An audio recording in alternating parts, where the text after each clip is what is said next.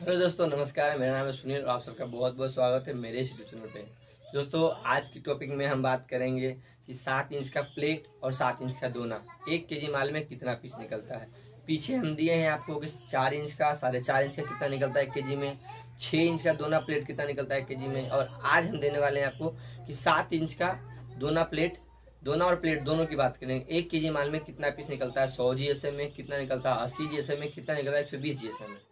और next video देंगे जिसमें आपको होगा कि आठ इंच का कितना निकलता है एक के जी माल में। सौ, अस्सी, एक सौ बीस, तीनों का बताएँगे। तो चलिए वीडियो को स्टार्ट करते हैं। लेकिन उससे पहले अगर आप मेरे चैनल पर नए हैं तो प्लीज़ मेरे चैनल को सब्सक्राइब करके बेल आइकन ज़रूर प्रेस करें, ताकि जब भी इस वीडियो अपलोड करें सबसे पहले आप पहुँचे। चलिए वीडियो को स्टार्ट तो जैसा कि सब लोग जानते हैं, बहुत लोगों का पता भी है कि कितना इसमें निकलता है, लेकिन जो लोग नए हैं, उनका बहुत कमेंट्स आते हैं और हर कमेंट्स का हम जवाब नहीं दे पाते हैं। तो इसलिए ये वीडियो हम दे रहे हैं।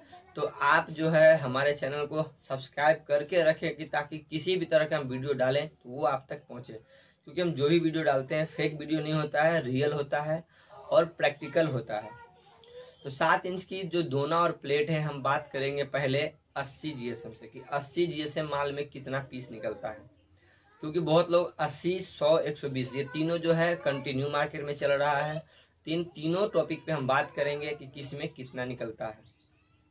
अस्सी जीएसएम की बात करें तो अस्सी जीएसएम में आपका साढ़े तीन सौ पीस निकलेगा सात इंच प्लेट प्लेट हो या दोना हो, दोनों सेम निकलता है, क्योंकि दोनों का साइज़ सेम होता है। तो साढ़े तीन सौ पीस अस्सी जीएसएम माल में निकलेगा, दस पाँच पीस ऊपर नीचे हो सकता है। सौ जीएसएम की बात करें तो सौ जीएसएम का माल जो है, वो आपको तीन सौ पीस निकलेगा एक के माल में। सिल्वर हो या प्रिंटेड हो या साल पत्ता हो, कोई सा भी हो। प्रिंटेड आप पोलिस्टर की बात ना समझे, पोलिस्टर की नहीं बता रहे हम जो भी बात करते हैं, वो बीओपीपी का बात करते हैं, क्योंकि पोलिस्टर फ़िल्म में माल कम निकलता है।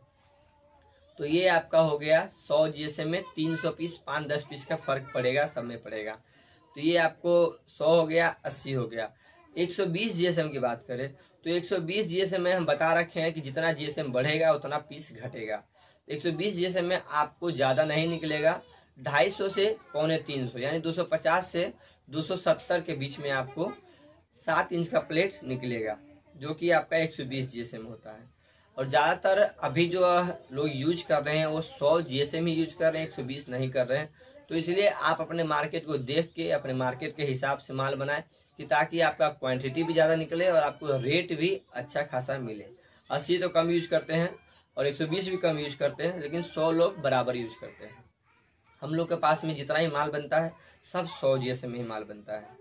तो इसलिए पहले मार्केट को देखें, सर्वे करें, उसके बाद आप रो मटेरियल परचेस करें। क्योंकि अस्सी का रेट भी ज़्यादा होता है पेपर का पीस ज़्यादा निकलता है, लेकिन वो सस्ता में भी बिकता है। तो इन सब चीज़ों को ध्यान दें। तो उम्मीद है कि आपको सात इंच का समझ में आ गया होगा, दोनों प्लेट दोनों का। अब हम बात करेंगे आठ इंच का नेक्स्ट वीडियो में। तो इस वीडियो से आपको अगर कुछ सीखने को मिला हो तो इस चैनल को सब्सक्राइब करके बेल आइकन ज़रूर प्रेस करें और वीडियो पसंद आया हो तो एक लाइक ज़रूर करें। चलिए मिलते हैं नेक्स्ट वीडियो में, तब तक के लिए धन्यवाद।